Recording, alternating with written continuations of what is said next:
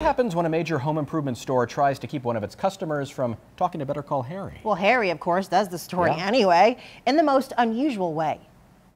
Lowe's Home Improvement. I like Lowe's, but I don't like what their legal department did by trying to keep this story off the air. It's not like we were trying to do a huge expose.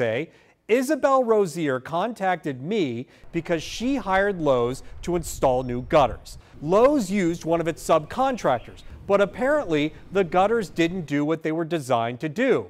Actually, we don't know what the problem was because Lowe's made Isabel sign a non disclosure agreement for her settlement. Were they not working?